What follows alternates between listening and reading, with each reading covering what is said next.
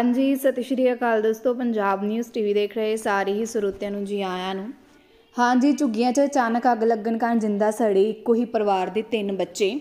ਵੱਡੀ ਖਬਰ ਆ ਚੁੱਕੀ ਆ, ਖਬਰ ਨੂੰ ਸ਼ੁਰੂ ਕਰਨ ਤੋਂ ਪਹਿਲਾਂ ਜਿਨ ਲੋਕਾਂ ਨੇ ਚੈਨਲ ਨੂੰ ਸਬਸਕ੍ਰਾਈਬ ਨਹੀਂ ਕੀਤਾ ਸਬਸਕ੍ਰਾਈਬ ਕਰ ਲੈਣ ਤੇ ਵੀਡੀਓ ਨੂੰ ਹੱਥ ਤੋਂ ਲਾਈਕ ਤੇ ਸ਼ੇਅਰ ਵੀ ਕਰ ਦੇਣਾ।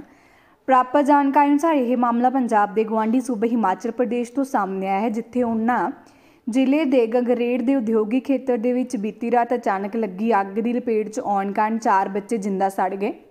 ਇਨ੍ਹਾਂ ਚਾਰ ਬੱਚਿਆਂ ਦੀ ਦਰਦਨਾਕ ਮੌਤ ਹੋਣ ਨਾਲ ਪਰਿਵਾਰ ਉੱਪਰ ਦੁੱਖਾਂ ਦਾ ਪਹਾੜ ਡਿੱਗ ਪਿਆ ਹੈ, ਜਿੱਥੇ ਮਰਨ ਵਾਲਿਆਂ ਦੇ ਵਿੱਚੋਂ ਦੋ ਭਰਾ ਤੇ ਇੱਕ ਭੈਣ ਸਮੇਤ ਚਾਰ ਬੱਚਿਆਂ ਦੀ ਮੌਤ ਹੋ ਗਈ। ਜੀ ਹਾਂ, ਦੱਸ ਦਈਏ ਕਿ ਇਹ ਘਟਨਾ ਉਸ ਸਮੇਂ ਵਾਪਰੀ ਜਦੋਂ ਝੁੱਗੀਆਂ ਦੇ ਵਿੱਚ ਅਚਾਨਕ ਹੀ ਰਾਤ ਦੇ ਸਮੇਂ ਅੱਗ ਲੱਗ ਗਈ। ਅੱਗ ਲੱਗਣ ਦੀ ਘਟਨਾ ਦੀ ਜਾਣਕਾਰੀ ਤੁਰੰਤ ਹੀ ਫਾਇਰ ਬ੍ਰਿਗੇਡ ਨੂੰ ਦਿੱਤੀ ਗਈ ਅਤੇ ਫਾਇਰ ਬ੍ਰਿਗੇਡ ਦੀਆਂ ਘਟਨਾ ਗੱਡੀਆਂ ਘਟਨਾ ਸਥਾਨ ਤੇ ਪਹੁੰਚ ਗਈਆਂ। ਕਮ- ਕਰਮਚਾਰੀਆਂ ਦੇ ਵੱਲੋਂ ਜਿੱਥੇ ਇਸ ਅੱਗ ਉੱਪਰ ਕਾਬੂ ਪਾਇਆ ਗਿਆ, ਉੱਥੇ ਮਾਮਲੇ ਦੀ ਜਾਂਚ ਕੀਤੀ ਜਾ ਰਹੀ ਹੈ। ਪਰ ਹਜੇ ਤੱਕ ਅੱਗ ਲੱਗਣ ਦੇ ਕਾਰਨਾਂ ਦਾ ਪਤਾ ਨਹੀਂ ਲੱਗ ਸਕਿਆ। ਪੁਲਿਸ ਵੱਲੋਂ ਵੀ ਘਟਨਾ ਸਥਾਨ ਤੇ ਪਹੁੰਚ ਕੇ ਬਾਕੀ ਲੋਕਾਂ ਦੀ ਮਦਦ ਕੀਤੀ ਜਾ ਰਹੀ ਹੈ ਅਤੇ ਲਾਸ਼ਾਂ ਨੂੰ ਕਬਜ਼ੇ 'ਚ ਲੈ ਕੇ ਜਾਂਚ ਕੀਤੀ ਜਾ ਰਹੀ ਹੈ।